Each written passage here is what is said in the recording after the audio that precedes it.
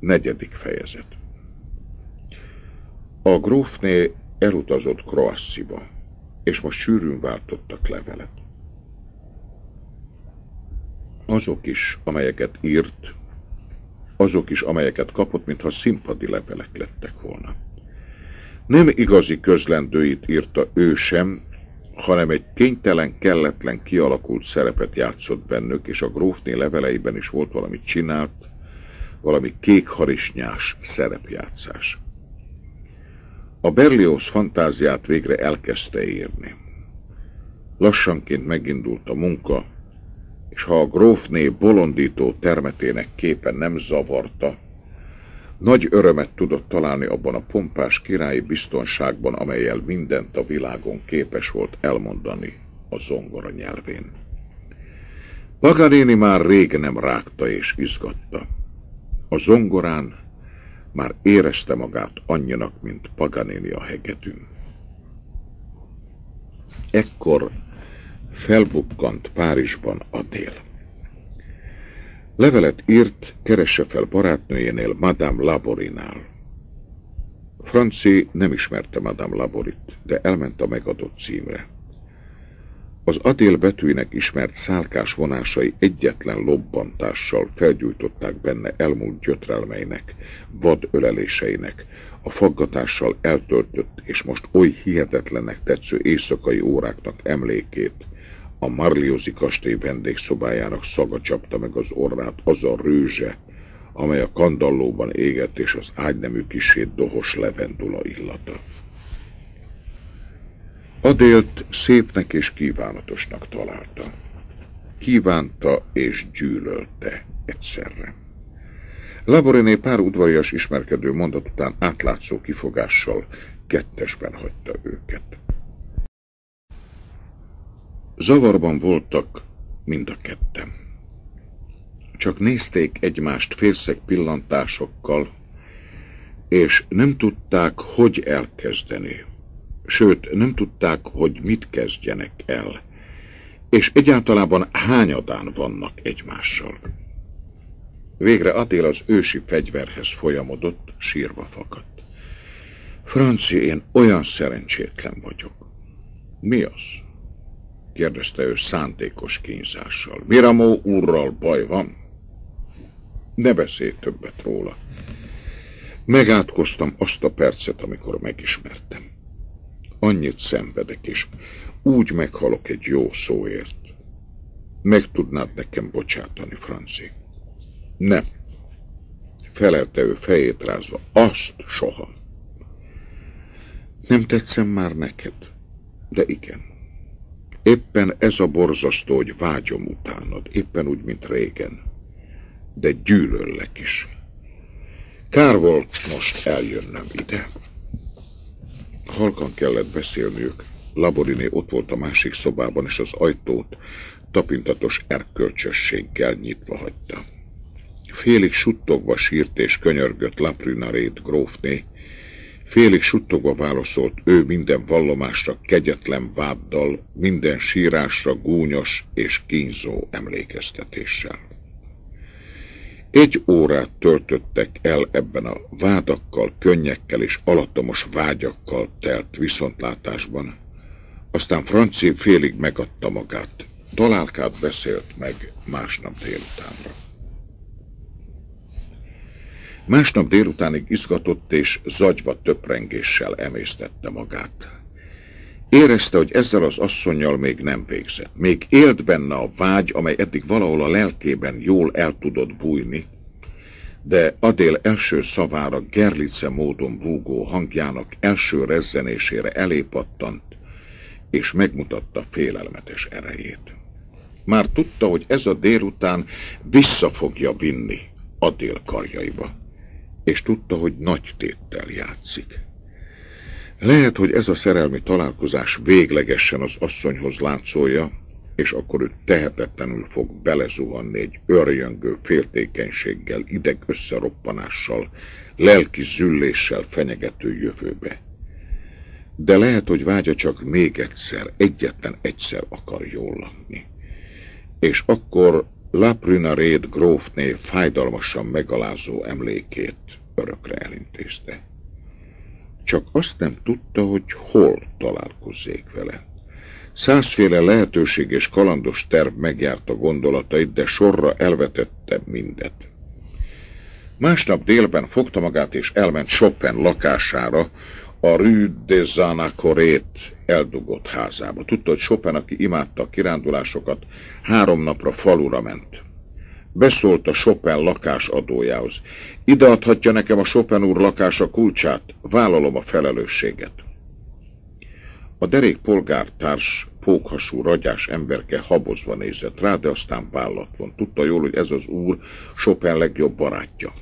Szó nélkül odaadta a kulcsot, Franci mohón zsebre vágta, elsietett és keresett egy bérkocsit. Amikor ketten beléptek, és belülről bezárták a lakás ajtaját, Francini hirtelen kellemetlen lelkiismeret furdalás és aggodalom vett erőt. Legjobban szeretett volna kirohanni és visszacsinálni az egész meggondolatlan kalandot. De már későn volt.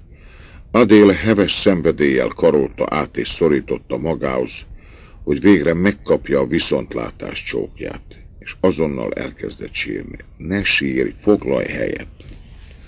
La Prunared grófné felszárította könnyeit, leült és körülnézett. Az asszonyi kíváncsiság azonnal erőt vett rajta. Felállt és a falon függő képekről egyenként megkérdezte, hogy kit ábrázolnak. A zongorán mintaszerű rendben kották állottak, azokat lapozni kezdte. Az íróasztalon belekotorázott a vénkisasszonyos rendességű halmokba leveleket, könyveket, írásokat mutatott, és Franci kétszer is megszólította, végül is idegesen rászólt. Chopin vendége vagy, vagy az enyém. Én el is mehetek. Ez elég volt. Vadul megölelték egymást. És a múlt felhánytorgatása, régi kínok kimagyarázása, újabb életük faggatása nélkül néma sóvárgással keresték egymás száját s a mámor leglobogóbb hevében az asszony remegő hangon kérdezte, szeretsz?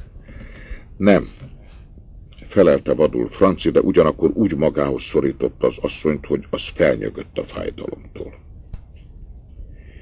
Bérkocsi vitte őket vissza a Laboriné lakásához. A kocsiban alig beszéltek. Amikor már közeledtek a megadott címhez, az asszony azzal a félénkséggel, amely előre tudja a lesújtó választ megkérdezte, holnap el kell utaznom. Írsz nekem? Írjak neked? Ne írj! De kezök közben fogta egymást. Aztán a kocsi megállt. Adél sírt mi alatt kiszállt, nem is köszönt, nem is nézett vissza. Besuhant a kapun és Franci érezte, hogy ebből az asszonyból teljesen és tökéletesen kigyógyult. Otthon levél várta Dagul grófné meghívta Kroassziba. Közölte a napot, a célszerű indulást, a kastélyhoz vezető utat. És Franci csak egy pillanatig gondolt vissza régi kedvesére, az volt az érzése, hogy évek teltek el azóta a pillanat óta, amelyben másfél óra előtt még karjaiban tartotta. Kroászi nem volt messze Párizstól mindössze hat mérföldnyire. Kora délután indult és Alkonyattájon érkezett. Hatalmas kastélyhoz fordult be a kocsi, pazar és gőgös épülethez, amely négy tornyot hordott négy sarkán, Hajdani várárok húzódott körülötte, amelyben most nem volt víz, hanem falait örökzölddel futtatták, és mély medrének gyeptalaján. Dámszarvasok legeltek fel sem pillantva az érkező kocsi zörgésére. A vendéget nem a háziak fogadták, hanem egy szertartásos és alázatában is komoran gőgös főkomornyik. Az intett egy lakálynak, hogy szedje le a podgyászt, aztán a hatalmas lépcsőházban előre indult. Ősök képei, felállított páncélok, goblenes folyosók márványszobrai között hosszú-hosszú úttal értek a vendégszobához. Ott a csomagos lakály elkezdett rendezkedni, a főkomornyik pedig meghajtotta magát. A grófné várja monsieur és megint előre indult. Ugyanazon az úton vissza. A földszinten aztán kitárt egy ajtót, Franci belépett, ott látta a grófnét két angyali szépségű kisleány társaságában. Isten hozta, uram! Engedje meg, hogy bemutassam leányaimnak. Ez a nagyobbik Louise, nagyon jó kislány, csak ma nem akarja megenni a levest. Ez a kisebbik Claire, szintén jó kislány, de néha a szájába veszi az ujját. Az apró gróf kisasszonyok kifogástalan bókot vágtak ki a vendég előtt. Jól utazott? Jól van. Azok az apró lázak elmúltak. Hála Istennek. Most talán nézzen körül a házban, de előbb a gyerekeket átadjuk a mademoiselle-nek. Elfogódottan, tehetetlenül követte a grófnét, aki vezette folyosón és termeken keresztül, és folyton magyarázott. Elmondta, hogy a házat valaha Kolber építette, az ő címer állata az a kígyó, amelyet kőbevésve és vasba öntve mindenütt látni. A grófné nem régen vette meg de la Tremoille hercegtől az egész birtokot. Ez a biliárd szoba a festmények Ódritól valók. Ez a nagy szalon a csillárt még 16. Lajos ajándékozta Kolbernek. A konzolok keleti alabástromból valók, a vázák porfírból. Mindenütt rajzos mintájú berakott padló, szobor, kép, arany, kristály, régiség, pompa. Nem, nem arra megyünk, ott az én magánlakosztályom van. Erre megyünk, hogy megmutassam a könyvtárt. A franci visszanézett a folyosóra, ahonnan elfordultak. Hirtelen süllyedni érezte a szívét, most látta először a grófté gyermekeit. Mennykő ütés gyanán csapott rá, hogy anyának látta, családban élő valakinek. Most először gondolta meg, mióta ismerte, hogy a grófté nem csak irodalomról és zenéről csevegő, vallási problémákról vitatkozó, elvont szép lélek, hanem asszony, akinek megvan a minden más asszonyéhoz hasonló magánélete. Mintha egy mesterségesen épített világ talaját rántották volna ki alolla, a mellette lépkedő gyönyörű asszony egyszerre nem a rang magasságába röppent előle, hanem egy bizalmas hétköznapi magánélet soha el nem érhető messzeségébe. Még nem tartózkodott tíz perce a Croassy kastélyban, és már reménytelenül lemondott erről a szőke szépségről. És annak az elhatározásnak nyomán, hogy lemondott róla, azonnal ellenséges, támadó harciasság támad benne. Miközöm hozzád, gondolta magában oldalt sem tekintve az idegen vezetőként magyarázó asszonyra. Ha nem lehetsz az enyém, akkor idegen vagy. Akkor egyik előkelő dáma vagy a többi száz közül, akik a fejünkre tiportok, a rangotok, a vagyonotok fenhéjázó és lázító kőkével. Később előkerültek más vendégek is, akik eddig sétálni voltak. Gabriel Markiné, Meyendorf báró és mások. Franci mind ismerte már őket. Általános, jókedvű társalgás kezdődött, csak ő maradt az egész társaságban ideges és harapós kedvű. Hány éveti szurkáló megjegyzéseket szórt jobbra-balra, készen arra, hogyha valami rendre utasítást kap, fogja magát és indul vissza Párizsba. De nem utasította rendre senki. Meglepetve látta, hogy csípőséges, nyegle rossz kedve, mint valami terror érvényesül. Akkor leült a zongorához, és eltorzult, fogcsikorgató kedélyét végig viharoztatta rajta. A boszorkányok táncát játszotta el Berlioz fantasztikus szimfóniájából de költője most alig ha ismert volna rá. Fülsértő visítozással cifrázott ki minden zenei mondatot, gonosz diszonanciákat táncoltatott képtelen ritmusokban. Ugye szép? kérdezte oldalt fordulva kaján vigyorgással. A hallgatók zavartan mosolyogtak, senki sem mert véleményt kockáztatni. Így telt el az ebéd is, amelyhez fél hétkor ültek le. Ő vitte a szót, gúnyosan beszélt mindenkiről, hitetlenül, meglepő állítások képtelenségében gyönyörködve, amelyekben maga hit legkevésbé. Mi lerte? kérdezte egyszer a gróf, de én nem ismerek magára. Én se ismerek magamra, szaladt ki száján az őszinteség. De azért folytatta ezt az esztelen, önkínzó színészkedést. És akkor kezdte csak rá igazán, amikor ebéd után a szalomban észrevette Meyendorf báró egy pillantását. Ezt a pillantást nem lehetett félreismerni. Az orosz báró a bizalmas imádó nézésével feledkezett rajta a háziasszonyom. Csak afelől lehetett kétség, hogy ez az imádat meghallgatásra talált-e már, vagy most vár a meghallgatásra. Így vagyunk? Hát akkor hajrá! Mint a dacos játékos, aki úgy áll bosszút a bal szerencsén, hogy ész nélkül dobálja bele a biztos vesztésbe a megmaradt pénzét is. Szándékosan igyekezett lelketlennek, semmi hitet nem ismerőnek, fenegyereknek feltűnni. És mikor Kiki aludni tért szinte, illetlen felületességgel köszönt a grófnénak, ágya sötétjében pedig keserűen átkozta és lenézte magát. Olyan voltam, gondolta magában a mardosó megvetéssel, mint egy hitvány lakály, mikor kitör a forradalom. Másnap csak szeles hányaveti kapkodása szűnt meg, keserűsége megmaradt, és mint valami szorosan hozzátapadt légkör ment vele mindenüvé. Délelőtt megnézték a parkot, és a gyerekek szamárfogatát, epés megjegyzéseket tett mindenre. Villás reggelinél kijelentette, hogy az egyetlen tisztességes államforma a köztársaság. A cári Meyendorf rájtette villáját a tányérra, úgy meghökkent de tíz perc múlva már azt jelentette ki az arisztokraták között ülő nagysörényű zongoraművész, hogy nincs semmi ocsmányabb, mint a tömeg, és csak az a miniszterelnök érdemli meg a helyét, aki azonnal lövett.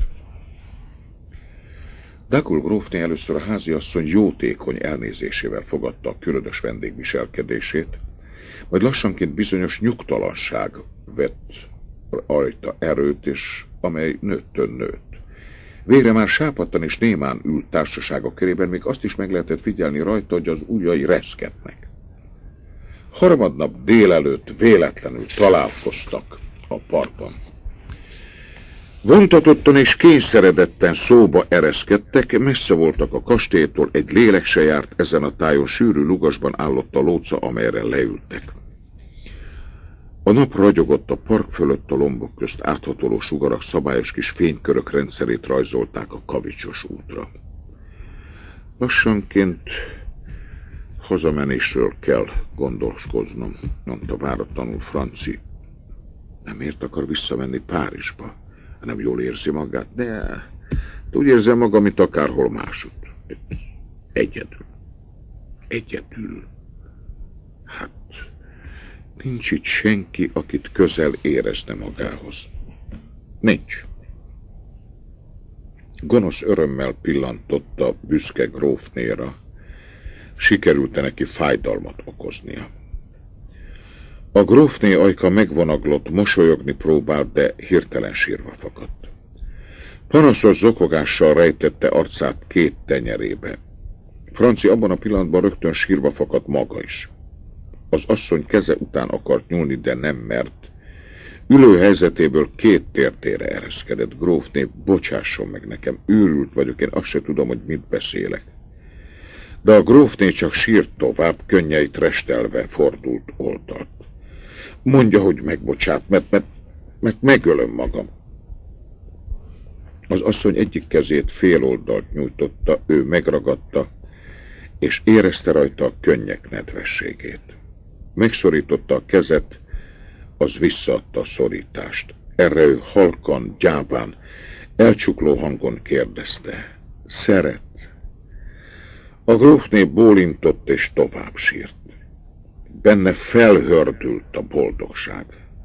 Már megint ott ült a lócán az asszony mellett. Jobb kézzel a vállát karolta át, ballal a fejét igyekezett magához fordítani, de az asszony felpattant és rémülten körülnézett. Az Isten szerelmére, mit csinál? Hát ha valaki meglát, el vagyok veszve. Ő is felállt, odaállott mellé egészen közel. Érezte az aranyszőke haj ápolt illatát. Nem jár erre senki. Szeret. Mondja ki, hogy szeret. A gyönyörű kék szemek rápillantottak. Én szeretem. De maga nem szeret engem. Csak bántani tud. De miért bántottam? Eszeveszett kínomban. Hiszen azt nem lehet elmondani, hogy mit szenvedek maga miatt már hetek óta, hónapok óta, attól a pillanattól kezdve, amikor először megláttam. Az első pillanatban már úgy tetszett nekem, hogy azt hittem, megbolondulok. Visszaültek a lócára, a grófné szemét szárítgatta. Hogy tetszettem, a semmi. Talán nem tart elbizakodottnak, ha azt mondom, hogy rendszerint tetszem a férfiaknak. De ez nekem nem kell. Én másra vágyom, és arra is hiába. Mire vágyik, és miért hiába? Mire vágyom? Arra a nagy érzésre, amelyet én magamban szerelemnek nevezek. Apró kacérság, bujkáló kis viszony, divatos kaland. Azt én utálom. Én a nagy érzést keresem. Azt az egyetlent, az életre szólót. És nem fogom megtalálni soha. Adja Isten, hogy ne találjam meg. De miért? Hiszen én is azt keresem. Én is így akarok szeretni. Millió ember között csak kettő akad, aki ezt megérti. Ez az egyetlen magasztos boldogság, amit Istentől kaphat az ember. Ezt nem akarja megtalálni. Milyen csacsi maga? Hát mit csinálok vele, ha megtalálom? Én a lelkem mélyéig tisztességes asszony vagyok és vallásos. Tudom, hogy ez a beszélgetés, amit most ketten folytatunk, súlyos bűn. És tudom, hogy most mi a kötelességem. Mennél ritkábban látni magát. Egyre ritkábban. Ha közömbös volna nekem, akkor mindegy volna. De így menekülnöm kell magától, amíg nem késő. És gondolja, hogy még nem késő, mert nálam már késő. Én most már belepusztulnék maga nélkül. Nem tudom. Meg kell próbálnom. Ez a perc gyönyörű volt. Ennek emlékéből fogok élni évekig. De, de többet nem szabad négy szem közt maradnunk. Nekem kötelességeim vannak, és ígérje meg, hogy segítségemre lesz. Ígéri. Franci ránézett az asszonyra, százszor szebbnek látta most, mint eddig akármikor. Nem a választ mérlegelte, amíg hallgatott, hanem a támadást számította ki. És a következő pillanatban már nyers erővel magához is kapta a grófnét. Gorombán fordította a száját maga felé, és eszeveszett csókkal folytotta bele a félig kinyílt piros szájba a tiltakozás elfulladó gyökéseit. Mit csinál velem? Sóhajtotta a grófné panaszosan. Nem lett volna szabad ide hívnom Kroassziba. De most már itt vagyok. Lássa be, hogy késő elmenekülnünk ezelől, amit érzünk. Ez így volt megírva. Angolul úgy mondják, hogy it is to be. Ennek így kell lenni. És maga az enyém lesz. Nem, kiáltott a grófnéria, de nem, inkább meghalok. Jaj, vigyázzon, jön valaki. Léptek, hallatszottak. A lugas előtt egy cseléd asszony haladt el, alázatosan köszöntötte őket, aztán eltűnt. Két perccel előbb jön, Jaj, borzasztó, na gyerünk innen. Jó, de előbb mondja meg, hogy mikor folytatjuk ezt a beszélgetést. Nekem még millió, még millió dolgot kell elmondanom. És ugyanannyit kérdeztem. Egyet már most megkérdezek. Mi van maga és Meyendorf között? A grófné felkacogott. Ó, a derék bárvát. Észrevett, hogy milyen laposakat néz rám. Megkérte a kezemet. Azt mondja neki, van annyi befolyása Rómában, hogy kiárja az egyházi vállást, ha akarom. Szegény fiú. Igazán nagyon kedves, csak olyan csacsi ne volna. Tudja, hogyan hívjuk a Márkinéval magunk között? Toothless. Soha mióta ismerjük, egyetlen gondolata nem volt. Akkor engem truthfulnak kell hívniuk. Szóval mikor beszéletek magával délután? Álljon csak. Villás reggeli után mindenki lefekszik aludni. Két órakor legyen ott a kis hídnál, ahol az a fasor kezdődik. Tudja, hogy melyik fasort gondolom? Tudom, tudom, most gyorsan még egy csókot, az ki van zárva, viszontlátásra. Az aranyszőke jelenség elsuhant. Ő pedig visszaült a lócára, hogy diadalát lobogó örömmel átgondolja. De vajon diadal volt-e csak ugyan? Hát, ha soha nem jut tovább ennél a vallomásnál, és néha egy-egy futó csók lesz minden, amit ez a szerelem ajándékoz neki. Meyendorf bezzeg megkérte a kezét. Rá a muzsikusra milyen szerelmi sors várhat vajon? Joga lesz titkai között tartogatni azt a tudatot, hogy az ország egyik legelőkelőbb hölgye egyszer-kétszer átengedte neki az ajkát. Járni fog a házhoz, magántulajdona lesz egy Faubourgbeli szalonnak, elkönyvelik majd a Dagul grófné védencének. És a szép asszony barátnőivel vetélkedvén büszkén fog körültekinteni közöttük. A leghíresebb és a legérdekesebb az ő bútorai közé tartozik, mert nem csak az arisztokrata ismerettségekért rajongó polgárnak van sznopsága, ezeknek a kilencszágú koronáknak is megvan a maguké, ők művészekkel pompáznak. Hát nem. Ez az asszony az övé lesz. Hatodik hazakad. Felkelt és elindult járkálni a fák közé és azon gondolkozott, hogy szerelmese ebbe az asszonyba vagy nem. De nem tudta eldönteni. Két órakor pontosan találkoztak a megbeszélt helyem. Az asszony sétálni vitte messze ki a földek közé, ez egy kis csalódást okozott neki, azt remélte, hogy a grófné valami ügyes búvóhelyre vezeti, ahol csókolózhatnak. De a hosszú séta is kellemes volt. Mint a felhúzott zsilip alól, úgy ömlött mind a kettőjükből a bizalmas vallomás. Mindenek előtt azt faggatták ki egymásból, hogy szerelmük mikor kezdődött. Felidézték legelső találkozásaik minden apró részletét, és Franci elragadtatott örömmel hallgatta, hogy a grófné már akkor szerelemmel gondolt rá, mikor neki, a főúri dáma legmerebebb és legméltóságosabb társadalmi arcát mutatta. Aztán egymás gyerekkorát kérdezgették. A grófnét, mint a kicserélték volna, élénk előadású, elmésen elmondó, igen jól megfigyelő szellemnek bizonyult. Francét meglepte ez, és más szemmel nézett rá. Elhallgatta volna akármeddig. Járt valaha Mortierban. Kis falu a Tours vidékén. Ott volt szüleimnek egy kis kastélya. Ha magam vagyok, szeretek azokra az évekre visszagondolni.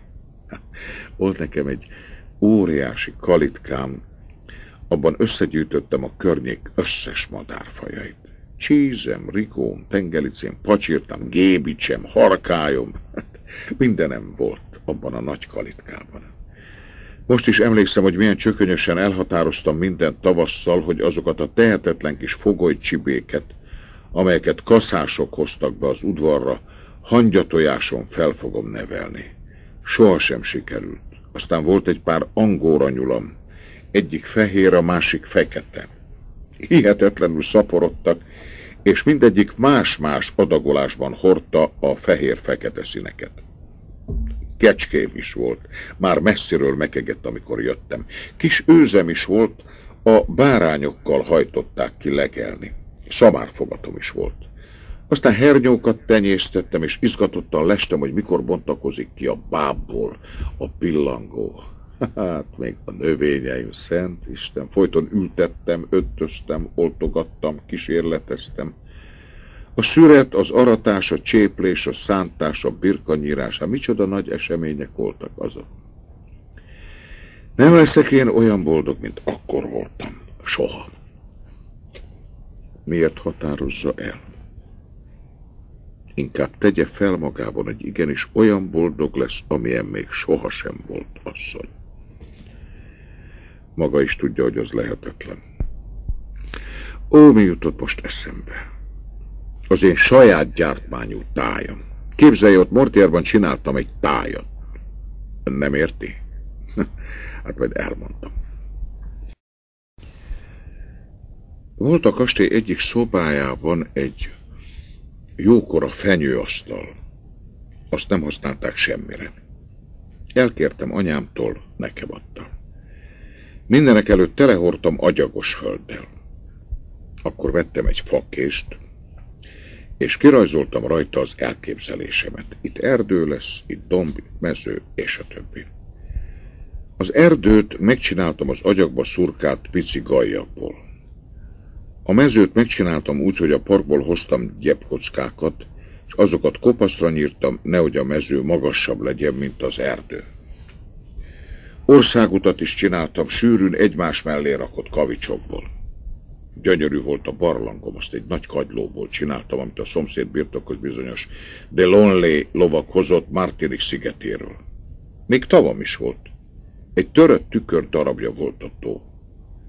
Apámnak úgy megtetszett ez a táj, hogy kemény papírból és parafadugóból kastélyt csinált. Igen, a közepébe még szépen be is pingált a téglaszínűre. Az erdőben remetelakot építettünk, a tópartjára a halászkunyhót. A kastélyt belülről egy picin darab gyertyával ki lehetett világítani, az erkélyen transzparens volt látható a világító betűk, ezt mutatták, éljen a király! Lássa szegény tizedik Károlynak, ezt elfelejtettem elmondani, pedig biztosan örült volna neki. Én is ismertem, még zongoráztam előtte. Izgatott volt? Én, amikor bemutattak az udvarnál, kimondhatatlanul izgatott voltam. Mindjárt az esküvőm után történt, 28-ban. Mindenek előtt érintkezésben léptünk Monsieur Abrahammal. Tudja, ki volt az? Nem. Hát az volt az udvari illemtanár, akit az Anjoulémi hercegnő hozatott a tülériákba, mert a napóleoni idők alatt mindenki elfelejtette a régi Bourbon ceremóniákat.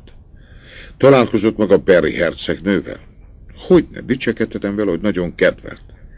Hát akkor emlékezhetik rá, hogy milyen igyekezettel próbálta folyton nápolyi élénkségét elfelejteni és Bourbon módon viselkedni. Őt is Ábrahám tanította a legapróbb mozdulatokra is, és hónapokon keresztül. Én három leckét kaptam tőle, arra oktatott ki, hogyan kell a király előtt meghajolni, és hogyan kell az udvari előírású hosszú uszájjal úgy jönni menni, hogy a királynak soha se fordítsa a hátat az ember. Hát mondhatom, hogy ez nem volt könnyű. Órákig kellett otthon gyakorolni azokat az apró rugásokat, amelyekkel az ember észrevétlenül helyreigazította az uszály ráncait, hogy azok a szőnyegen szépen feküdjenek el. Aztán jött a három mély meghajlás, az első, amikor az ember belépett a galériákba, amelyek végén ott állott a király kísérete közepén, aztán jött tíz lépés, amelyeket pontosan ki kellett mérni, hogy azokkal az út egyharmadát tegye meg az ember, a tizedik lépés után jött a második meghajlás, most megint jött tíz lépés, de ekkor a király is előre jött egy keveset. Ekkor kellett harmadszor meghajolni. De a kihallgatás után jött az igazi nehéz feladat. A nagy uszájjal ki kellett hátrálni egy másik ajtón, szemközt azzal, amelyen bejött az ember. Hát képzeleti, mennyit gyakoroltam én ezt otthon, hogy bele ne hátráljak a falba, vagy meg ne botoljak, mert annak menthetetlen hanyattesés a vége. Közben folyton a két komer tanácsait kellett hallgatnom. Miféle két komer? Az úgy van tudja, hogy akit az udvarnál bemutatnak, az felkér a rokonságból két védnöknőt magának. Az én védnöknőim voltak Dagult Vikomné, az uram nagynénye, aki akkor első udvarhölgye volt Berry hercegnének, és Montmorency Matignon hercegnő. A ruhámra most is emlékszem, ezüst szövésű fehér tülből csináltattam hozzá egy manto de kór nehéz bársonyból, ugyancsak ezüst díszsel. A frizurám olyan magas volt, mint egy torony. Teremtő micsoda frizura járta akkoriban. A nap elragadóan sütötte a tájat, a földeken távoli parasztok látszottak itt ott mezei munkában, és ők elmerülve mendegéltek egymás mellett. A grófné beszélt inkább, a fiatalember hallgatta. De bármennyire érdekelte az asszony színes, szórakoztató előadása, figyelmének csak felét kötötte le.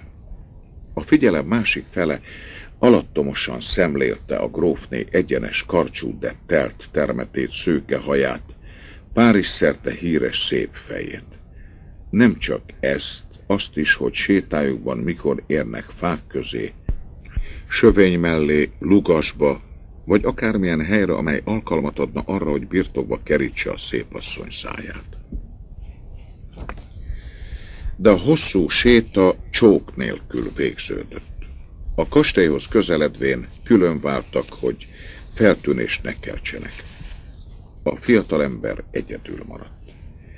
Jó darabig újongva és töprengve bolyongott egy kerti úton, amelyet művésziesen szegletesre nyírott bokrok szegélyeztek, aztán ő is bement a kastélyba. Egyenesen a zongorához. Annyira tele volt, hogy mivel azt nem tudta, ennyire túlárad benne a vágy, diadal, reménytelenség, hiúság zavargása, hogy ezen csak a zongora segíthetett. Formátlanul zagyván játszott mindent össze-vissza. Beethoven keverte Berliozzal. Robogó futamok közepette, és mikor kisé megcsendesedett, elkezdte egy furcsa fogását gyakorolni. Paganini hónapjainak bolond idejéből származott ez. Rájött, hogy sovány és hegyes könyökével, ha nagyon ügyes, le tud ütni hangokat, főként a ciszt és a fiszt, mert ezeket két fehér billentyű előzi meg.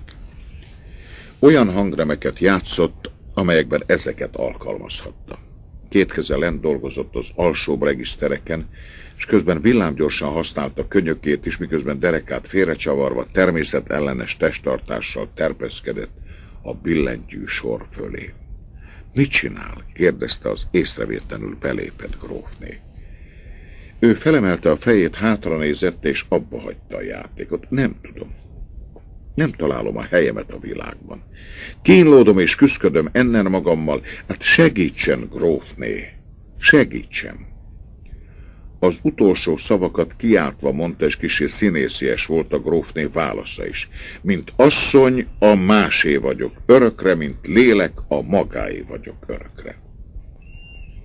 De ugyanaznap este, amikor a gyönyörű holdfényes időben az egész társaság sétálni ment a parkba, és egy védett kanyarulatnál a fiatalember goromba szenvedélyességgel rántotta magához az asszony fejét, néhány tiltakozó szó után a grófné belement a csókba, sőt most már ő csókolt, de olyan sóvár élvezett vágyjal, az odaadás olyan forró szemérmetlenségével, hogy Franci boldogan megtöbbent.